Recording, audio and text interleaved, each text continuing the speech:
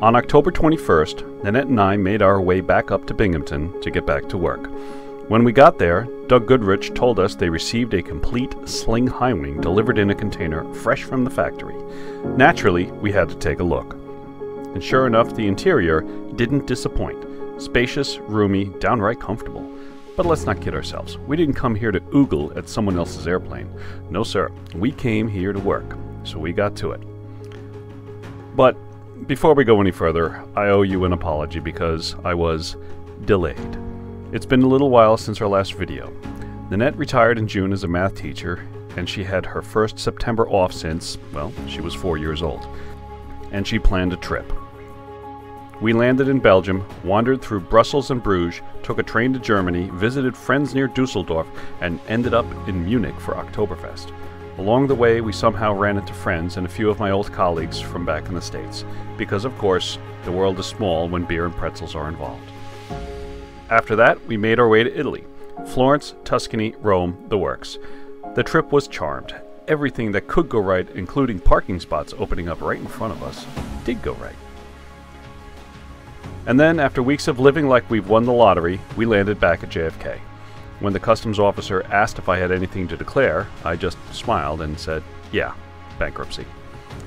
It's good to be home though, back to the tools, the rivets, the rhythm of building November Tango, because as much as we love exploring the world, there's something deeply satisfying about building our own airplane.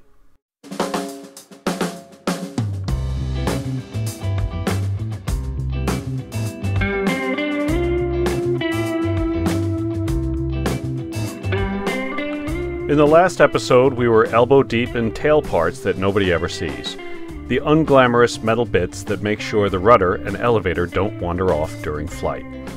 This time, we moved on to something a little more satisfying putting the skins on the empennage. Compared to skinning the wings, this felt like a day at the beach. We found our rhythm fast, reaming, clecoing, and riveting, and then repeating.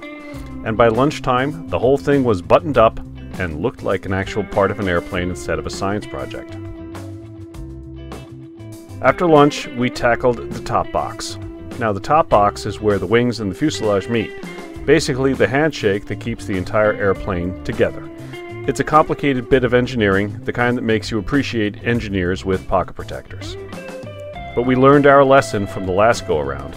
If you're not sure, you can cleco it, just don't rivet it. Clecos are temporary, regret is a lot longer.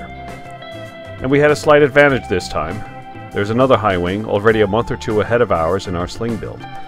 Having that thing sitting there, wide open, was like having answers in the back of the textbook. No reinventing the wheel, no guessing, just good old fashioned look and copy. We pushed as far as we could, but eventually the clock and our brains told us it was time to call it a day. There's only so much problem solving you can bring out of aluminum before you start making simple mistakes. Next time, my son will be flying up to join me. He's a mechanical engineer, which is a fancy way of saying he's a whole lot smarter than his old man. And with him around, we might even get things right the first time. Well, that's it for this episode.